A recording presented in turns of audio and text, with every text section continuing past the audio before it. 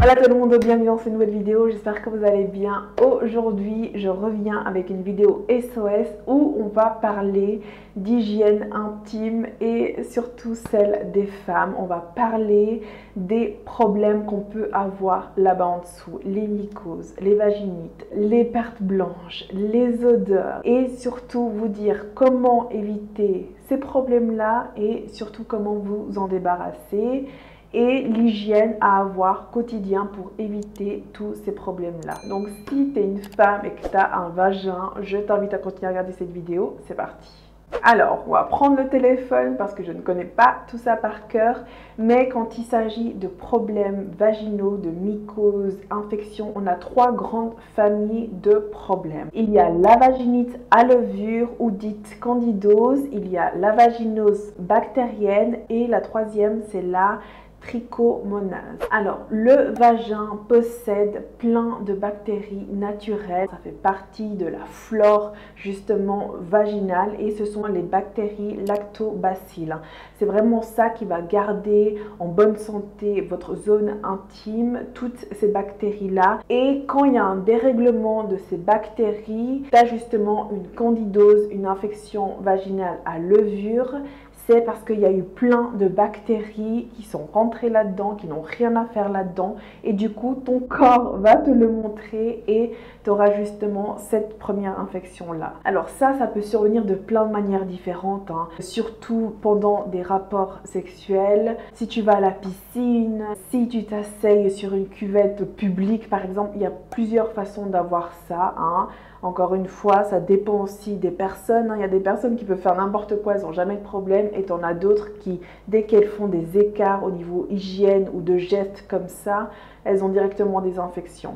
Du coup, c'est là au niveau des symptômes, tu auras des rougeurs, ça va te gratter, ça va te faire mal quand tu vas faire pipi, ça va te brûler. L'indice, ce sont vraiment les pertes blanches. Hein. Les pertes blanches qu'on a naturellement, surtout à certaines périodes de notre cycle menstruel. Ces pertes, elles t'indiquent aussi ta santé intime, ta santé vaginale. Alors quand tu as cette première infection, tes pertes, elles vont être épaisses, grumeuses, et il n'y aura pas forcément d'odeur. Ça, ça va vraiment t'indiquer que tu as une infection, qu'il y a un problème et que c'est ce type de problème que tu as. Comment éviter d'avoir ça? On va éviter les douches vaginales, certains savons. Moi, typiquement, je vous dis que pour mon hygiène intime, j'utilise mes savons intimes mais j'insiste toujours à vous dire que c'est vraiment pour une utilisation externe pour votre rectum, pour la raie, entre les jambes, entre les cuisses, entre les lèvres, mais jamais à l'intérieur. Si vous commencez à mettre ça à l'intérieur, ou un gel douche normal, ou que vous faites des douches vaginales, etc., catastrophe, ça va totalement dérégler votre pH naturel et justement toutes ces bactéries qui sont là pour protéger votre zone intime naturellement, le microbiote vaginal. Si vous faites ça, vous pouvez typiquement avoir ce genre d'infection à levure. Si vous portez des vêtements trop serrés, hein, les jeans, moi je porte plus de jeans, hein. je vous l'ai déjà dit, et quand j'en porte, ce sont vraiment des jeans larges, des mom jeans. Mais c'est vrai que j'évite. Hein. Moi je suis tout le temps avec mes pantalons larges, etc., qui respirent. C'est beaucoup plus agréable, c'est beaucoup plus confortable. Mais voilà, si vous mettez ce genre de vêtements hyper serrés là-dedans, ça peut vous causer ce problème-là. Évitez les sous-vêtements synthétiques, polyester. Pour votre zone intime, que vous soyez une femme ou un homme, il faut toujours du 100% coton. Moi, typiquement, je vous en avais parlé dans mon hygiène, dans ma routine hygiène intime, que j'étais allergique à certaines matières, dont la matière du maillot de bain. Donc euh, l'été c'est un cauchemar. Dès que je mets un maillot de bain, je dois faire attention. C'est vraiment pour me baigner, je sors mais je me change directement. Et une fois que vous vous baignez, vous m'enlevez directement ce maillot de bain. Restez avec un maillot de bain humide comme ça. Oh, catastrophe ça fait longtemps que j'avais pas dit ça, mais ça, c'est juste pas possible. En tout cas pour moi, je sais pas vous, mais moi si je fais ça, catastrophe, j'ai directement avoir une infection. Donc évitez de faire ça. Vous vous baignez, vous changez, vous séchez cette zone-là et vous mettez directement vos sous-vêtements en coton. Et pendant vos menstruations, changez régulièrement vos protections hygiéniques, tampons, serviettes, culottes menstruelles et compagnie. Et soyez vraiment attentifs à votre hygiène. Utilisez vos lingettes humides sécher après quoi avec le papier toilette. Il faut vraiment que cette zone elle reste sèche aussi propre. Sinon, toutes ces bactéries vont proliférer et vous allez avoir des problèmes. Ensuite, on a la vaginose bactérienne. Alors, celle-là, c'est quand il y a une multiplication de bactéries qui sont hein, déjà dans votre microbiote vaginal. C'est vraiment un déséquilibre justement de votre flore vaginale. Et ça, ça peut être dû à un excès d'hygiène. Si vous avez des relations intimes avec plusieurs partenaires, si vous faites des douches vaginales, si vous avez déjà une maladie sexuellement transmissible, et si vous utilisez un stérilet, ils disent. Et au niveau des symptômes, vous allez avoir des pertes claires, liquides et vous allez avoir justement la fameuse odeur de poisson, celle qu'on veut éviter absolument. Mais ça, c'est typiquement quand vous avez justement une vaginose bactérienne. Dès que là-bas en dessous, ça sent poisson, c'est de ça qu'on parle. Et comment éviter tout ça On va en parler juste après.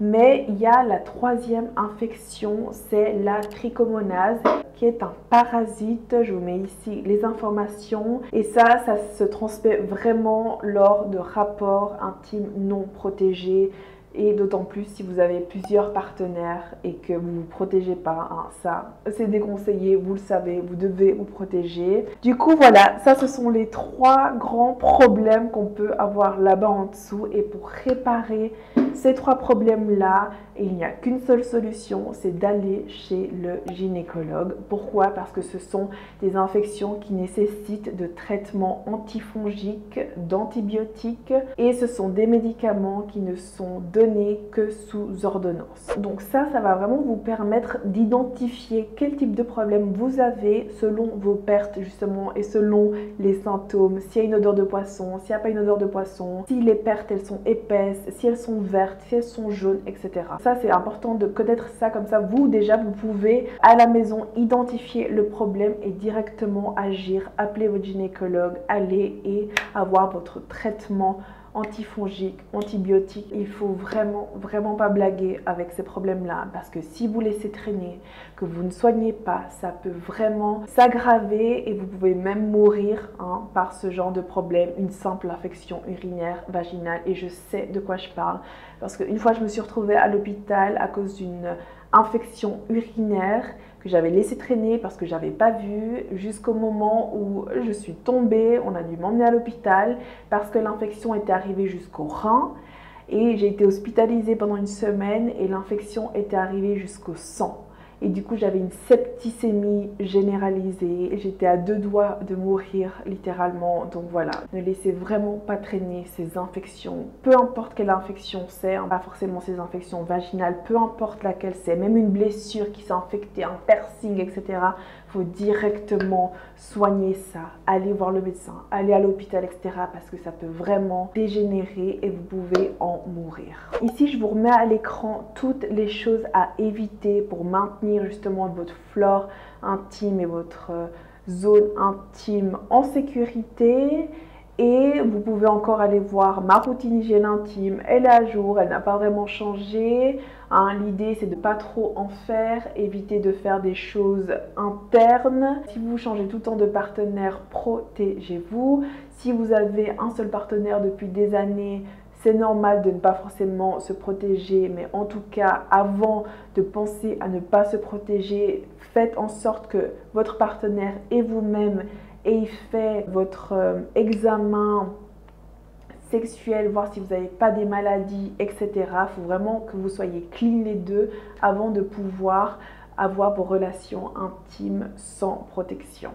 Alors des fois, il se peut que votre flore intime soit un petit peu décontrôlée, que vous ayez des soucis ou pour éviter d'avoir des problèmes qui s'aggravent et avoir des grosses infections comme on en a parlé, il y a quelques gestes que moi je fais à la maison dont je vous en ai déjà parlé. Typiquement, c'est d'avoir toujours à portée de main mes tubes d'acide lactique. Des fois, ils viennent aussi en ovule à insérer dans le vagin. Ça, c'est fabuleux. Ça, votre gynécologue aussi va vous le conseiller. Ça, vous trouvez en supermarché. Moi, j'utilise Gynofit ou Vagisane. J'ai toujours ça dans mon tiroir. Dès que je fais un jacuzzi, par exemple, ça c'est une catastrophe. La dernière fois que j'ai fait un jacuzzi, je me suis retrouvée justement avec une de ces infections. Piscine, baignade, mer, lac, après un rapport sexuel, n'importe quoi. Vous mettez ça le soir avant le coucher. Ça va nettoyer la zone en profondeur, équilibrer justement votre microbiote vaginal, votre pH et ça va vous éviter les problèmes, les prévenir et c'est bien de temps en temps de faire ça pour justement nettoyer la zone et qu'elle soit nickel. Donc ça, c'est vraiment quelque chose que tu dois avoir si tu as un vagin à la maison. Comme ça, si jamais tu as un petit souci, que tu sens déjà qu'il y a un petit problème, une petite odeur, tu peux des fois appliquer juste ça et ça part directement. En général, tu fais ça sur trois jours, une semaine, et même une seule fois, typiquement après une baignade, ça suffit amplement pour éviter tous les problèmes. Donc ça, c'est vraiment quelque chose que je vous recommande, que vous trouvez en pharmacie. Voilà, je crois qu'on a fait le tour, les gus. Vous allez trouver les articles que j'ai mentionnés et les produits dont je vous ai aussi parlé dans la description. J'espère que cette vidéo vous sera utile. Si elle vous a plu, mettez un j'aime. N'oubliez pas de vous abonner à ma chaîne. On se retrouve très vite. Besitos